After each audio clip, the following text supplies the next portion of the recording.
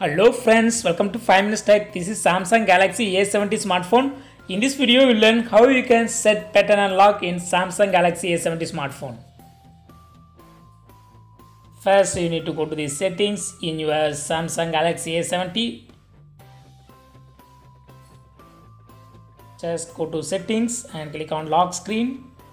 Here, click on screen lock type and select pattern. Draw the pattern that you want to set click continue. Again draw the same pattern to verify.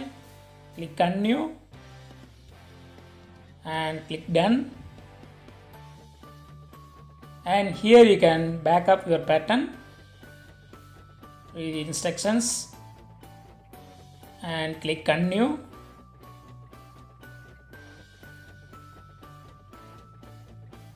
So you have to sign in into your samsung account if you don't wish, just go back.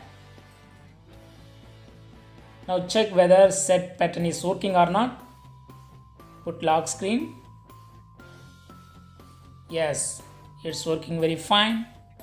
So in this way you can easily set pattern unlock in your Samsung Galaxy A70 smartphone.